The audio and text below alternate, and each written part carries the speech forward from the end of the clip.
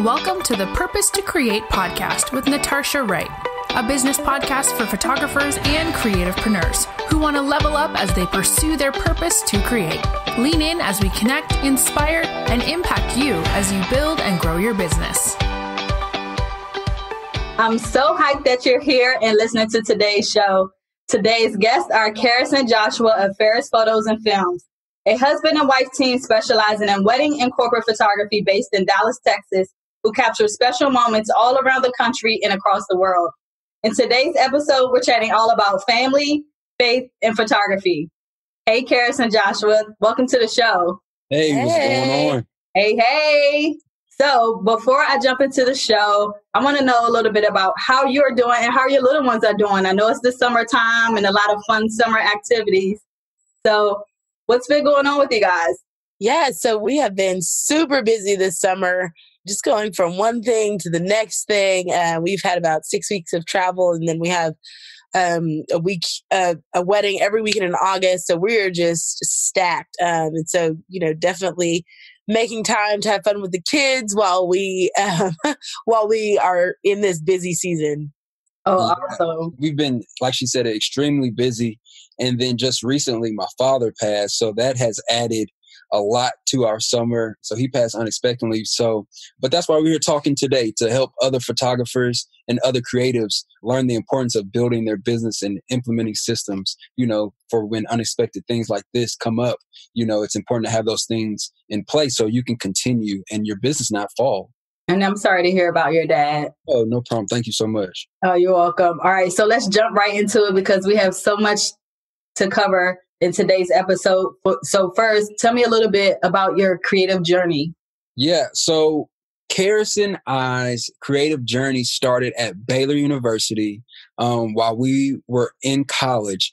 I had started the photography business. I started shooting portraits, um, events, and things of that nature. And then I met Karris, who was already a creative guru in her own right, right? So she was a fashion design major. She was over there, you know, drawing sketches of dresses and doing all those things and having, you know, making websites and all of that. So once we started dating, uh, she, you know, offered to help me just level up my business and we had just been going from there. So from there, it started, you know, redoing my branding, my website, and all that, helping me pose couples. You know, we were we shot our first engagement session together, then our wedding together, and all of that. But so that was kind of the start of that. And then as it when it got kind of serious, you know, every time you get into a new level of entrepreneurship or your business, you get kind of caught in this decision making process of do I go deeper and double in of everything I think I just built,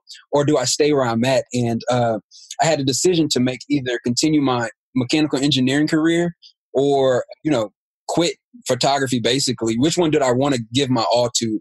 And as i was about to quit photography and go all in with the engineering she was like don't quit you know i'll help you. And so from there that's when she started basically running the the business side of our business and helping with shooting and everything that whatever she needed to do to keep the business afloat. And she didn't only keep it afloat she grew it.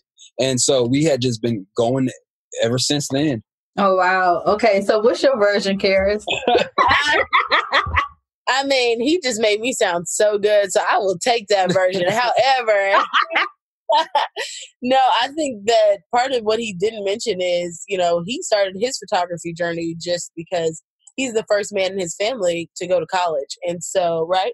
Mm-hmm. Yeah. And so he really just wanted to document his college experience. And so that's really why he started. And so he started off cutting hair in the dorm room, which turned into the money for his first camera from a pawn shop, which turned into, you know, shooting parties and that kind of college thing, and which turned into somebody actually getting him a job working for Baylor Sports just because they knew that he was taking photos and that that was kind of his thing. So uh, just being dedicated to what he was doing and committed to that opened opened some big doors for him because um, you know he was able to use some really nice camera equipment to to start doing photos for mm-hmm. people's graduation and all that, and it did just spiral from there. So I definitely took a page out of his book. I wasn't thinking about being a photographer at first, but he lured me into it for sure.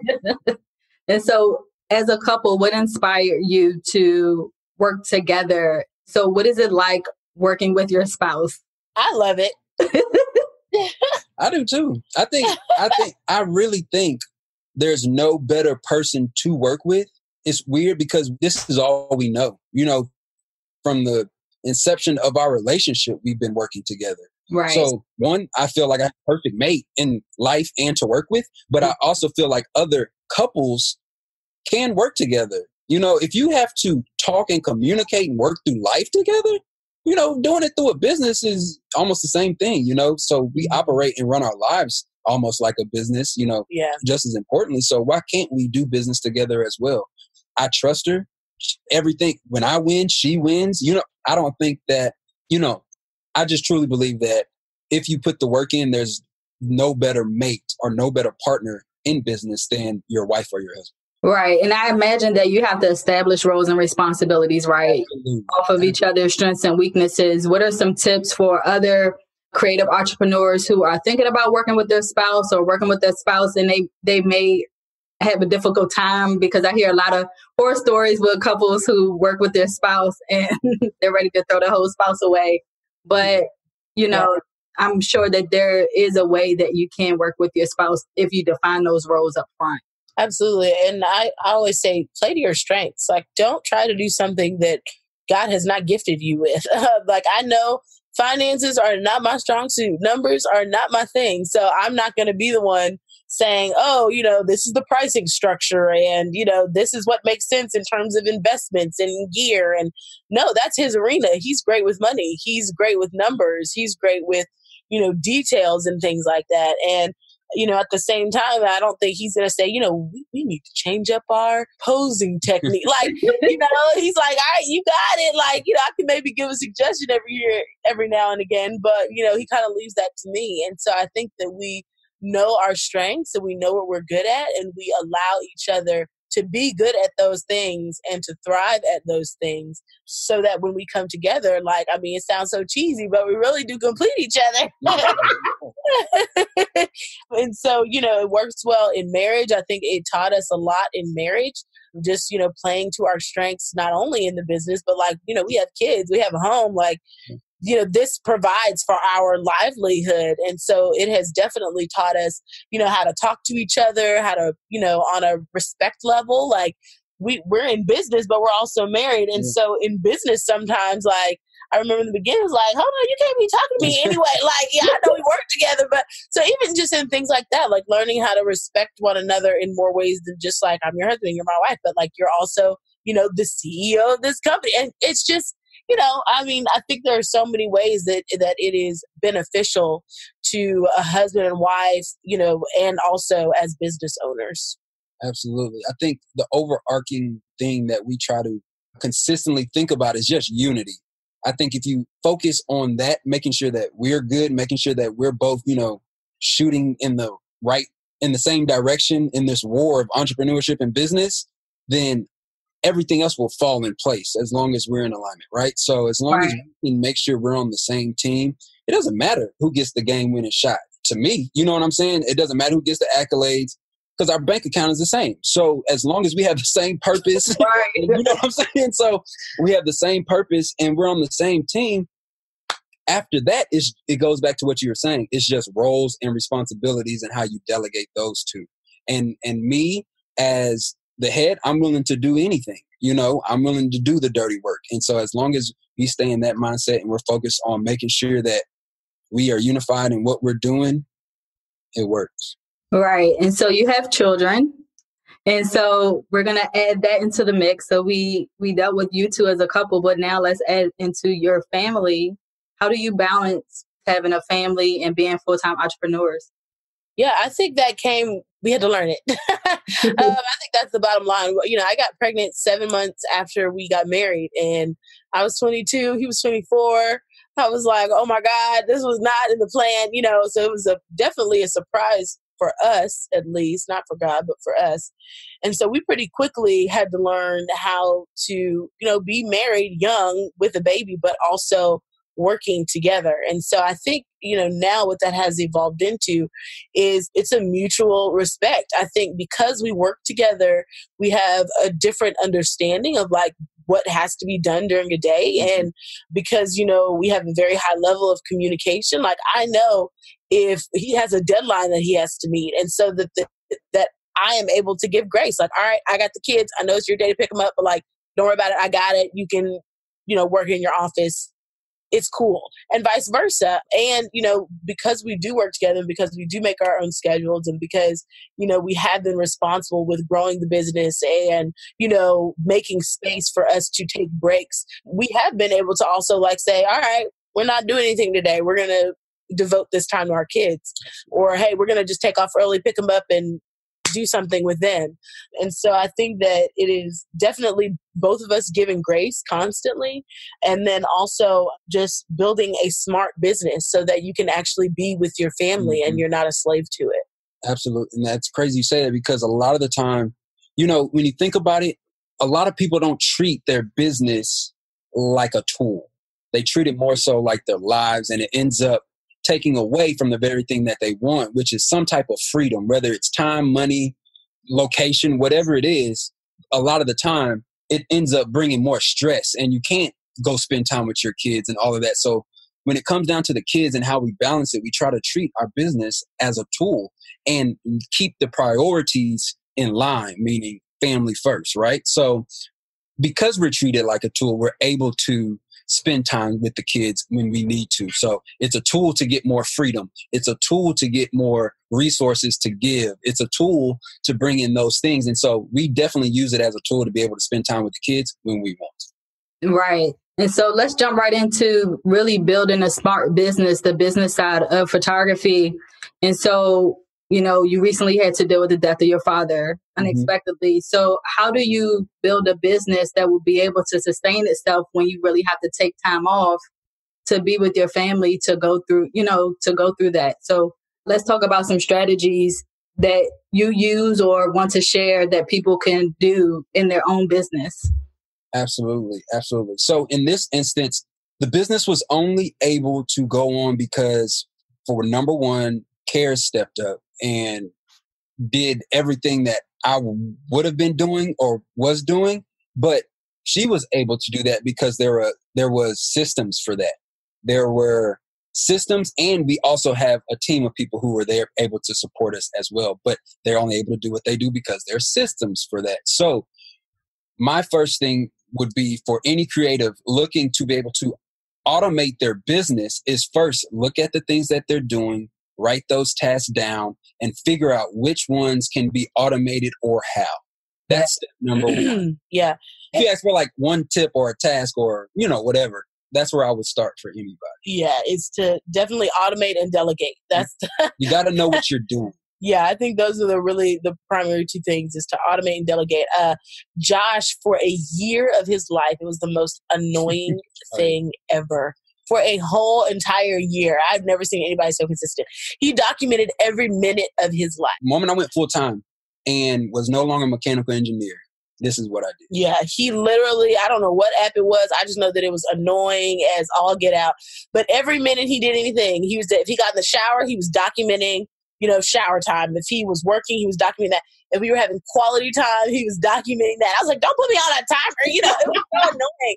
But by the end of that year, he had such a comprehensive view of what he was doing with his time. And then from that, it really just propelled him to say, like, okay, great like and you know you could probably speak to this better than i can but okay great like this is what's happening with my time like great this is the things that i can delegate maybe this is the thing that i can automate and then really probably in the last six months there was a period of time where he moved his moved a table in the garage and i mean he was working like from sun up till sundown we just didn't see much of him and i i can't even to this day tell you everything that he was doing but i know that after he finished that like month of just complete focused work that we hired a ton of people, we automated a lot of stuff, and our loads got so much lighter. And so you could probably attest to what you were doing to make that happen. But I say all of that to say he spent a year of his life documenting his time, and then he spent at least a month working on how to automate and delegate, you know, and so that a weight could be lifted from us. I mean, we do have two kids, and so, and we do love our business, but that doesn't mean that we want to be slaves to it, right? And so, right. you know, he really refined you know our business in that year and a month of really hard work and and all of that to get us to the point where you know unfortunately when his dad did pass away i was able to take over. But had he not you know gone through all of that and had those systems and processes and like this person doing this this person doing that you know where i could easily continue on to my role but pick up his as well it would have been very difficult. So when you came to the decision to delegate what steps did you go through to outsource parts of your business? Like, what parts were you kind of holding on to? Which parts did you know to give away? Like, what was mm-hmm. that? What did that look like? I would say I it is very difficult for me to give things away. I did not want anybody to touch anything, like from emails to editing to I mean, Instagram. I was like, don't touch it, leave me alone, we fine. I don't like change. Yes. so it was very difficult for me. And Josh really did have to level me up in that sense of like showing me like, like, look how much freedom you have.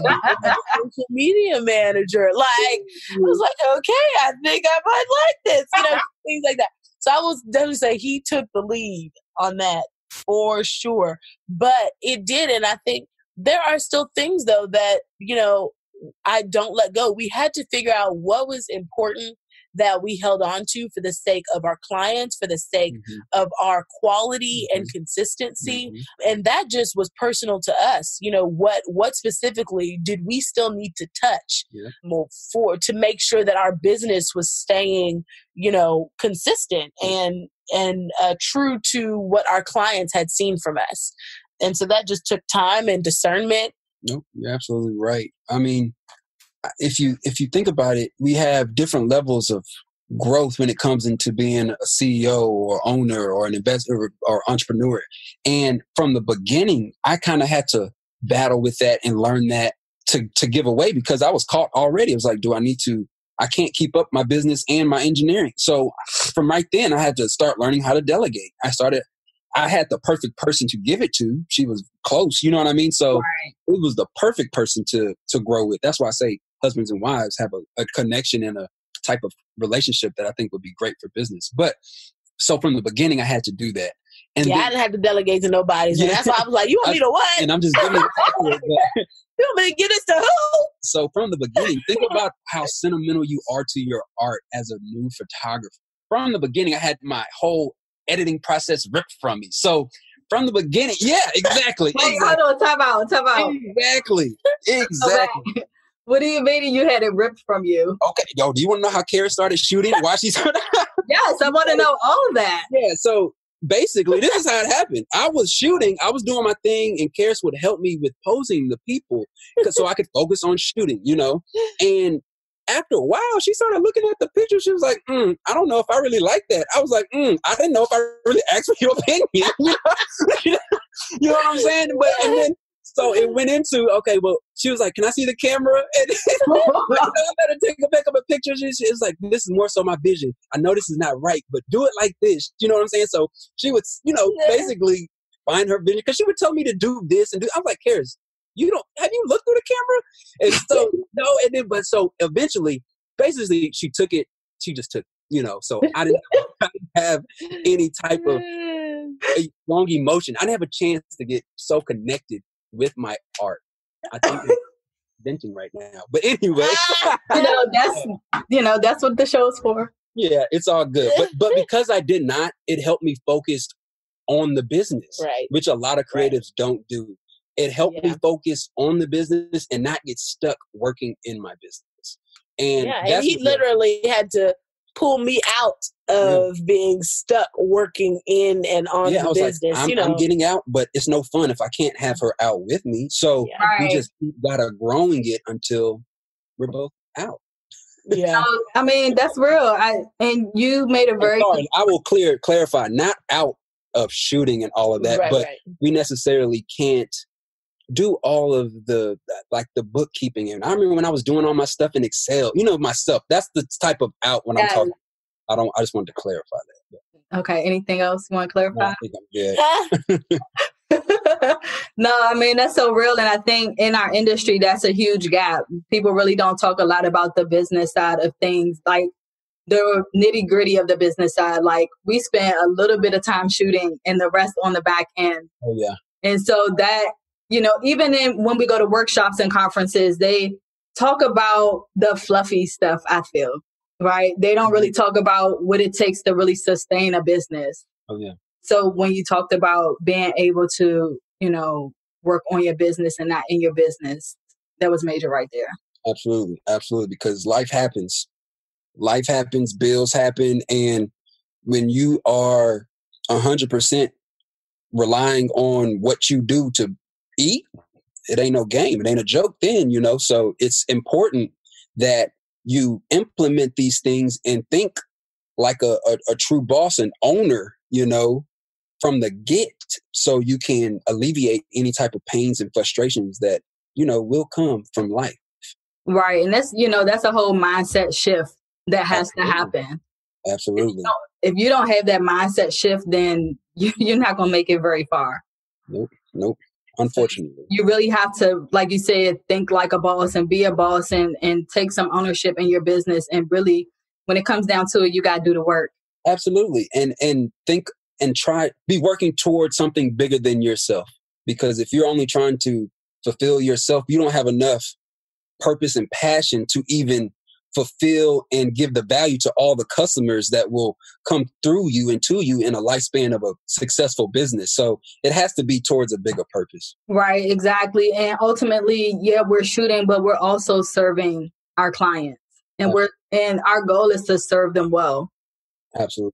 So I'll take that as an opportunity to shift gears a little bit so we can talk about faith in photography and how faith plays a role in your photography business and just even as creative entrepreneurs? Yeah, I mean, I would say from my end, it has been faith itself keep me holding on. And I don't say that from a negative stance at all. I think that just the person I am, I don't like change.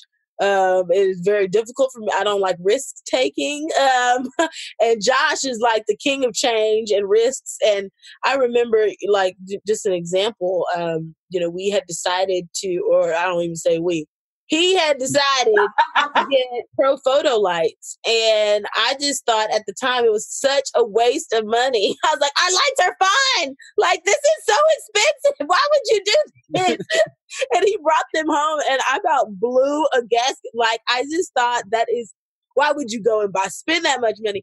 And then you, I about a month later, I was like, this was the best ever made. This is awesome. And so, like I say that, like just as the perfect example of, for me specifically, it has been a lesson in believing in having faith in my own husband that he has been placed at the head of my home for a reason. And that following Josh and really honoring him as the head of my home in the areas he takes risks um, and having faith in him, all of that really translated over to my relationship with God and knowing what it looks like to truly have faith in him when I feel like, oh my gosh, you know, this doesn't make sense. I don't like this change. This risk doesn't feel good. To know that like God has got my back and that he has my best interest at heart, just like Josh does, that he's not doing anything to harm me or anything to hurt me, and that even the hard things are made to make me better. And so, really, I think I've learned so much in just our business relationship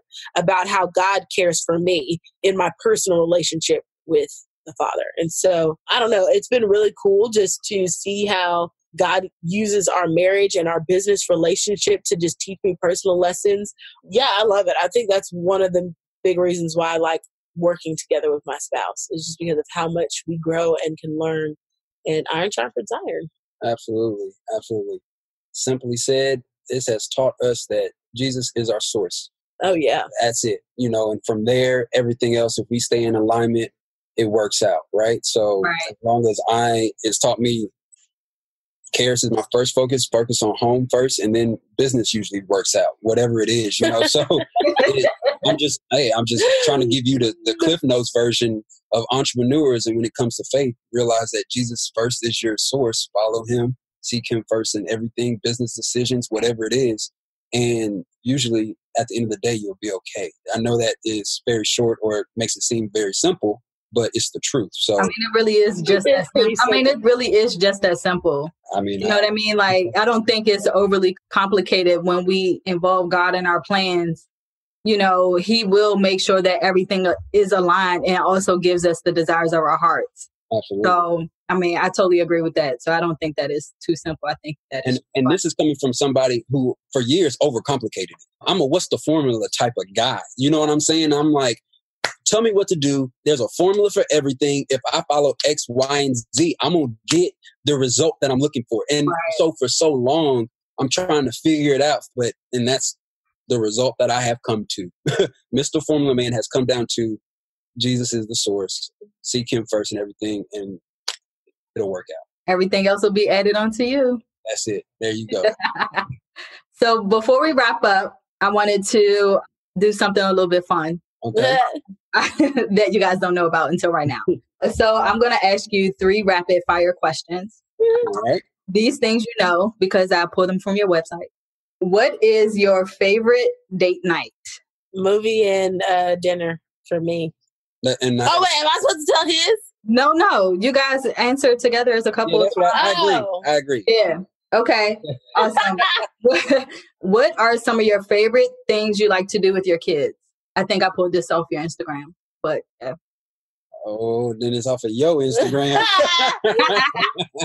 Rapid fire. Oh, play. oh, I'll go with that. Playing okay, oh, oh, well, I, yeah, yeah, we like to play. We just like to We play. like to Yeah. we cook, cook together, like, like yeah, to cook, cook together. play basketball, play swimming, play. Yeah, we like to play. We like to have a Play. good time. play. It's a good good one. Okay, this one I don't know for Joshua and maybe Karris. I don't know, but I'm a avid follower of your devotionals on your, and I love them oh so much. Ah, Um. I'm gonna pause right there for a second. But speaking on your devotionals, I think as a creative, it felt good for me to see another creative just talk about God and being an entrepreneur because when I started photography, I never heard any creative talk about God at all. And so I o- often felt alone because my love for God was so big, but I felt like I couldn't really express that Yeah, mix it with my business because I was afraid of what people would say and things like that, that it would turn them off. But you do it so well. And it's like, not that you give me permission, but you make me feel free and being able to honor God and talk about God as a creative entrepreneur. And I really don't care what people I Yeah, talk about them. that's You know what I'm saying? So, what you either going to agree or not agree or like or don't like. But at the end of the day, like my love for God, He is the reason I'm a creative. And so why not honor him and give him the glory um, whenever he places on my heart to? And because of that, it's really opened up a lot of doors for me to be able to witness to other creative entrepreneurs Oh, that's awesome. to build up in their faith. So it's, it's just been really awesome. So I just wanted to, while I have you here, to thank you for Yeah. for operating and doing that in excellence because it Thank just it frees me to be able to walk my walk with God too. Thank you. Thank you. And you mm-hmm. will find that as you continue to be vocal about God and what He's done for you and what He could do for others, that the people who don't need to be in your life will slowly fade away anyway. And the people who are like you and like minded with you and the people you need to be running with anyway will slowly emerge to the top like the cream de la creme that they are. And so keep going, keep, you know, pursuing God in that way, keep talking about Him out loud, don't hesitate because the people who you need to be around who are listening to that will come to the top for sure. Right. I appreciate that. Thank you. Okay, so back to my little rapid fire questions. My Yes. first one is uh, what is your favorite scripture in each of you? Oof. That's a hard one. I don't know. I think mine changes really just does. depending on what, what's one this happening in my but- life. Yeah. but my, my, my go-to one is John 15, 5. Mm. You know, abide in me, and you, or if, as long as you abide me, you can do all things or whatever.